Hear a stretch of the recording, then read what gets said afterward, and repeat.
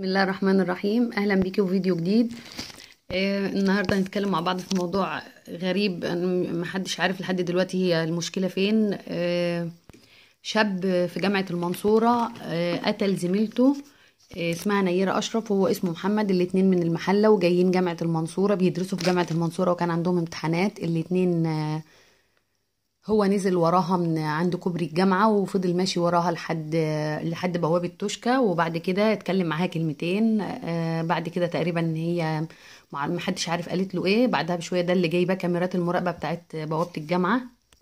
المهم البي راح مطلع سكينة خبطها خبطتين آه، في بطنها وبعد كده ما استكفاش وقعت على الأرض. الباشا راح جايب السكينة وذبحها من رقبتها. كل المشكلة كلها دلوقتي بالنسبة لي أنا بصراحة يعني شايفة المصيبة كلها بتقف عند بتقع عند فين؟ عند الناس اللي كانت ماشية في الشارع. الفيديو موجود على اليوتيوب شوفوه. آه، البنت كانت واقفة في الشارع والناس كلها شايفينه وفي كارثة أكبر كمان. ده كان في واحدة حد بيصور بيقول له واحدة ست وراجل بيتكلموا مع بعض تقريبا من البلكونة مثلا ولا حاجة وبتقول له إلحق ده ذبحها إلحق ده خبطها إلحق ده هيضربها إلحق ده هيموتها. طب ما ت... يا طب إيه؟ طب أنتوا واقفين بتتفرجوا على إيه؟ طيب بلاش أنتوا قاعدين أنتوا واقفين في البلكونة شوية وقاعدين تتسلوا. ماشي بارواح الناس. ماشي تمام. طيب أمن الجامعة. في ناس بيقولوا أصل أمن الجامعة ملوش ما مش من حقه إنه يتدخل لأن ده حصل بره سور الجامعة وبره البوابة. هو فعلا كان قدام البوابة بره على السور بتاع الجامعة. طيب أنت كبني آدم أنت كبني آدم شفتها وشفته خبطها أول خبطة وسبته ورجع خبطها الخبطة التانية وسبته وسبته استنيت لحد ما ذبحها.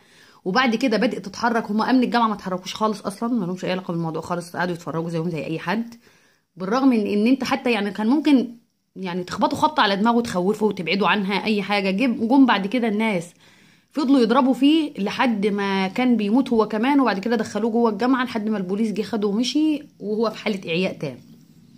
طيب إحنا استفدنا إيه لما أنتوا جيتوا ضربتوه بعد ما هي البنت ماتت خلاص و... وهي واقعة على الأرض خلاص مذبوحة وبعد الكلام ده كله؟ في الأول هو ده اللي كنت بقوله لكم المرة اللي فاتت في الفيديو اللي إحنا عملنا فيه البخاخة اللي هي بتاعه ال- الخطف البنات أو إن حد يعتدي عليك أو الكلام ده كله. قلت لك اعملي البخاخة علشان خاطر في موقف زي ده وتاني يوم بعد الفيديو جريمة زي دي يمكن لو كانت حاجة زي كده معاها أو أي حاجة تدافع عن نفسها وعلى فكرة بختين اتنين في في وشه كان هو اللي هيقع في الأرض وما كانش هيقدر يعمل فيها كده. أنا قلت لك كده اعملي ده ليه على- لأن أنا عارفة إن ما عادش حد بيتدخل لحد وقلت لكم امبارح ما عادش حد بيتدخل لحد وما عادش حد بي بينجد حد وما عادش الناس عندها شهمة وشهامه والنخوه والكلام ده كله. بعد ما هو خلص عليها رايحين يضربوه. طب أنتوا بتضربوه إحنا استفدنا إيه دلوقتي؟ طيب تاني حاجة الكارثة بقى. الست المحترمة أمه. بتقول لك ده محمد انطوائي ومحمد مؤدب. ده محمد مؤدب وما بيشربش سجاره ده محمد ما بيشربش سجاره و... وانطوائي وما بيعملش حاجة وحشة في حد وحزينة عليه. انت اللي حزينة عليه؟ احزني على البنت اللي أمها راحت دفنتها النهارده ما تحزنيش عليه. انت هتحزني عليه إن شاء الله بإذن الله لما هيتشنق لأن هو قتلها بسبق إصرار وترصد. شاب رايح الجامعة 20 سنة شايل سكينة في في شنطته ليه؟ ده سبق سبق إصرار وترصد. ليه شايل سكينة في جيبه؟ ال- الكاميرات جايباه وهو ماشي وراها من عند كوبري الجامعة لحد جوه وهو اللي حاول يعتدي عليها هو اللي كلمها هي رفضت تتكلم معاه خبطها الخبطتين الأولانيين وبعد كده قتلها. هو ده اللي تحزني عليه. احزني على تربيتك لابنك. احزني على تربيتك لابنك. احزني على ان انت ربيتي كلب زي ده انت مسيباه على بنات الناس في الشارع بحجة انه ولد ويعمل اللي هو عاوزه. هي دي المصيبة السوداء. ممكن نربي بنته ولما نيجي عند الولد الولد يعمل اللي هو عاوزه عشان راجل. يرجع متأخر آخر الليل عشان راجل. يشرب أي حاجة براحته عشان هو راجل. ياخد سكينة في في هدومه ومخبي سكينة عشان يروح يقتل بنت زميلته وهو في الجامعة جامعي. يعني المفروض إنسان محترم ومهذب. وبعد كده تيجي تقولي لي ده ابني متربي ومؤدب وما بيشربش سيجارة يا ريته كان بيشرب حاجة بس ما كانش قتلها وطبعا كالعادة هو شوية وهنعرف إن هو كان شارب وكان مجنون وكان أهبل زي اللي قتل قبل كده في إسماعيلية برضو الراجل وكان قدام الناس واتذبح قدام الناس والناس واقفة تتفرج عليه وبعد كده بتطلعوه أهبل ومجنون ومتخلف و... وكل حاجة. خليتوا الناس خايفين تعلم عيالها وخليتوا الناس خايفين يودوا ولادهم البنات الدروس. وخايفين يودوا بناتهم الجامعة. أنا أقسم بالله أنا عن نفسي خايفة أودي بنتي الجامعة. أنتوا أنا مش عارفة أنتوا بتعملوا في الناس كده ليه. انتي مربيتي كلب زي ده ومسيباه على بنات الناس. وعلى فكرة قبل كده الناس كلها قالت إنه اتعمل له ألف محضر قبل كده كذا محضر قبل كده لأنه قبل مرة كم مرة كان بيحاول إنه يعتدي عليها وفي الشارع وقدام الناس. واتعمل له محضر واتنين وتلاتة. هو بيحبها. هي مش بتحبك يا أخي. خلي عندك كرامة وخلي عندك دم. مش بتحبك ومش عايزة تتجوزك. وقف يتكلم معاها كل ما يسمع إنها كلمت حد يروح يعمل معاها مشكلة يعرف إنها سافرت في مكان مع أخواتها ولا مع صحابها يروح يعمل لها مشكلة. خلي عندك دم وخلي عندك كرامة لو هي مش بتحبك أو مش عايزة تتجوزك ابعد عنها. ابعد عنها. وانت إزاي أم؟ انت انت حزينة على ابنك إزاي؟ انت هتحزني عليه لسه زي ما قلت لك لما يتعدم لأن ده سبق إصرار وترصد. تحزني على الأم اللي النهارده دفنت بنتها أم نيرة اللي النهارده دفنت بنتها أو لسه ما دفنتهاش كمان لحد دلوقتي. وبنتها مرمية في المستشفى وبنتها اتذبحت قدام الناس ومصر كلها اتفرجت على بنتها وهي بتتذبح بالشكل ده وانت مسيبة كلب عليها يذبحها زي ما تكون فرخة يمكن لو كانت فرخة كانت صعبت عليه. انت ربطيه على إيه؟ ربطيه على القسوة وربطيه على قلة الأدب وقلة التربية.